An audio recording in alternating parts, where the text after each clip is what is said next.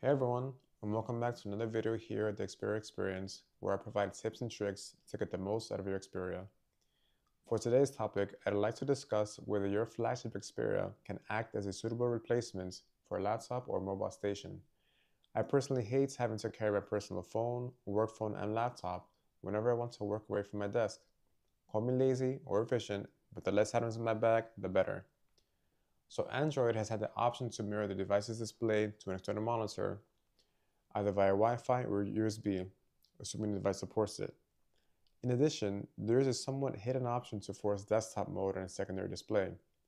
Traditionally, Android's desktop mode in its default state is atrocious. No full screen mode for apps, very limited options to resize windows, and no multi-app support has made the experience awful. There are a few devices in the market with heavily customized versions of desktop mode, such as Samsung DeX and Motorola's Ready for Mobile.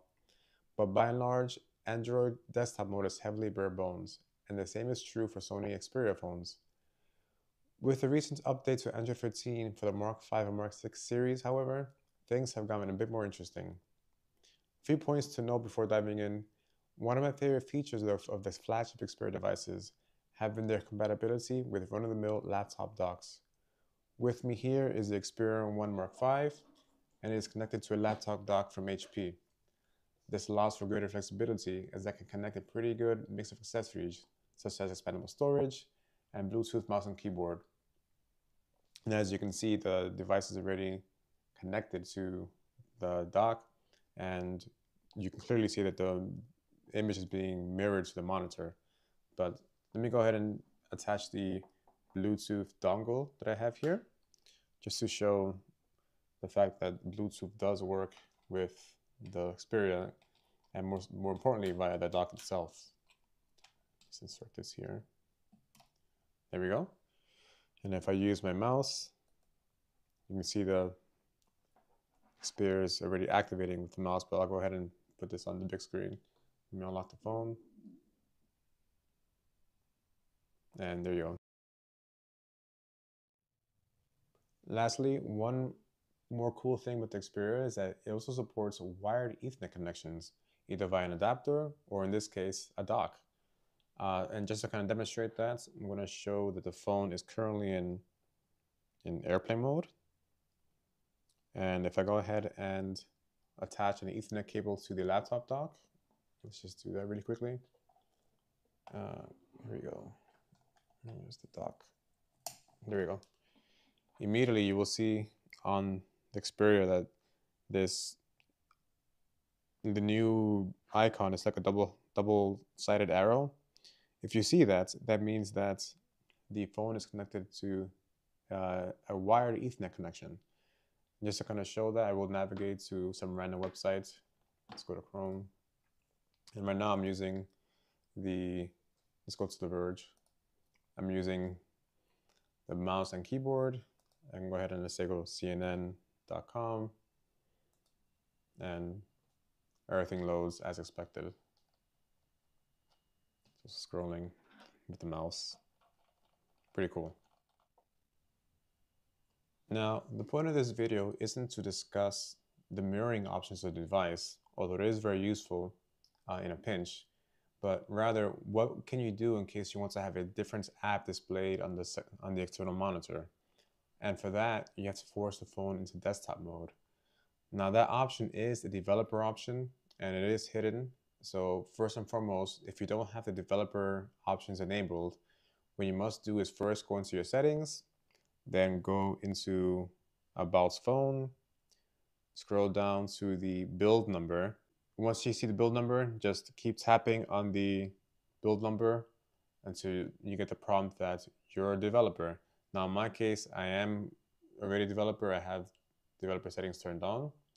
So once you do that, go to, you will get a new option under the system tray, or rather system options.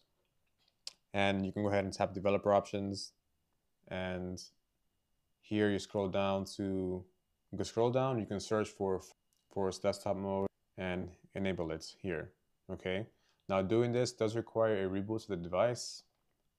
So let's go ahead and enable this and we'll reboot and I will see you in a few minutes. All right, so the phone has rebooted. We're gonna go ahead and turn on the device. But before I do that, I'll make sure that the monitor is not in standby mode. Let's turn that back on. I'll go ahead and plug the phone in. And I should see a prompt to again mirror the display to the monitor. There it is, this mirror display. Now it can take some time for the display and the monitor to stabilize, so just give it a few seconds while it registers. And I have noticed that sometimes when the phone is in portrait mode, it does uh, take a while to to form. So there we go. Now, the one thing about the desktop mode is that sometimes it's not always clear where the mouse is. Um, so for example, here, excuse me, the mouse is located on the phone, but you want the mouse to appear on the actual on the back panel, right? That's the whole point of desktop mode. Um, and you can see in the corner in the, here in the bottom right corner, that's the actual app drawer. But how can you get there if the mouse is always on the phone? So it turns out that in order for the secondary display to make use of the mouse and the keyboard, the phone has to be in, in, in landscape mode. And for a while, that drove me crazy because I had no idea that was the case, and I have not seen that documented anywhere. So here we are, phone's in, in landscape mode, and now you can see that the mouse has jumped to the, uh, the main display, or rather the secondary display. And I'll have access to the, to the app tray, and these are different apps. So let's say if I want to start with Google Chrome, let me just make sure I'm not showing anything crazy. That's okay. So we'll go ahead and start Google Chrome. And notice the, in this case, the app started in full screen mode, but that's because I remember, remember the last time it was turned on. But typically when you start an app, it'll start vertically here. And previously with Android 14, it was a stationary window. You could not move this. I was very limited. You couldn't do full screen mode. And now you can actually resize the window, which was not possible before, to your heart's content. You also have the capability of going full screen mode. There it is. And you have a pretty good experience here.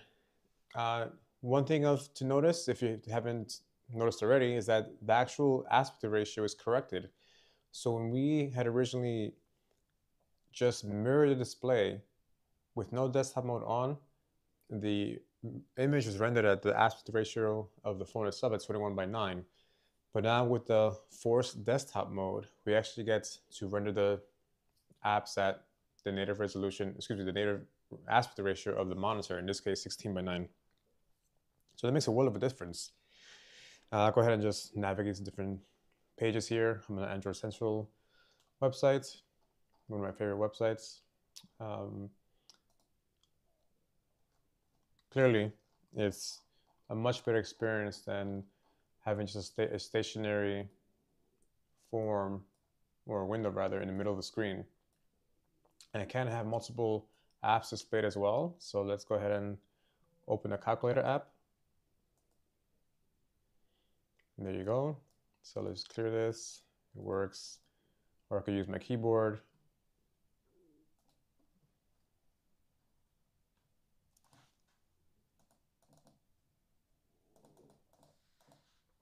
to type away. And again, full screen. If I need it to be full screen, I'll close this. And just to kind of drive home the drive home the point, I'll open let's say Google Docs. Just open up any file, or rather, any document. And now I'll minimize this. And now I have the power of a full-blown text editor on my display, my monitor. So this, try this again, sorry. This is a test of the full screen mode on the Xperia one mark five. Now I know that's very, very tiny, but let's see if I can make that bigger. Yep. And there you have it. So you have access to the full app applications. Uh, you can have multiple windows displayed. You can resize the windows. Again, the experience is not as clean necessarily, necessarily as let's say a Samsung DeX or Motorola ready for mobile, but all things considered, it's a really substantial upgrade to what was previously available, not just to Xperia, but in Android in general. And I think it makes a world of a difference and makes it much more usable uh, as a laptop re laptop replacement. If you're ever in a pinch and your laptop dies, you can always just use your phone. I think it's very versatile. But please let me know what you think in the comments. Let me know if you have any questions. I'll try to answer them as best as I can. And hope you get to enjoy your Xperia device as much as I do. I will catch you on the next one. Take care.